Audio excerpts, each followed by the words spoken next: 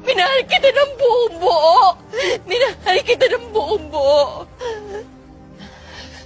Leah, I'm sorry, okay? I'm sorry, but I can't change who I am. It doesn't change the fact that I love you, okay? I'm sorry.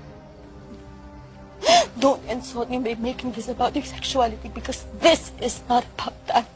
Not even for my father. Tungkol to sa pagsinungaling mo sa akin. You